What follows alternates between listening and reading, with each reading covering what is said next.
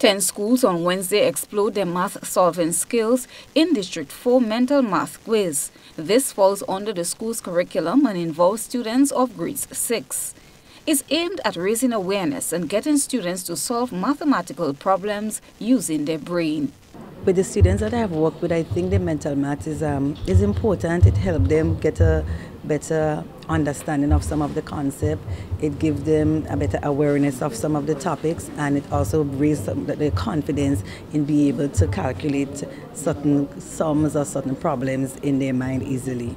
It's a preparation for secondary school and it's also a relaxation for them to, when they reflect on what they would have done in the exam, they can say, okay, I can go in the mental math quiz and show my skills. My Clinical Counselor, Ministry of Education, Shauna Thomas Coffey, says from a ministry standpoint, they want to ensure that students are not only involved in computation, but are mentally able to understand concepts.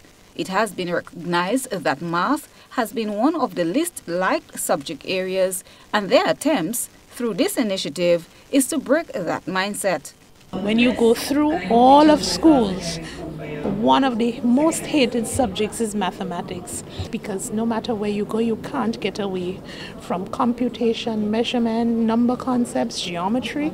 You know, you may have an architect, he can't say he hates math because math is 95% of the field. So we want a genuine awareness and sensitization of the importance of maths and also to bring it as maths for life. Some students found the exercise useful. Uh, it was kind of challenging, but it turned out okay. Okay. Uh, I think my, for me, I think it was excellent. Uh, most of the questions were easy. He had like one or two that was difficult for me. I find it was quite easy and yeah, I don't find none of them was difficult. The competition was held in six districts. The national finals will take place on the sister isle of Carriacou on June 14th. Christina John, GBN News.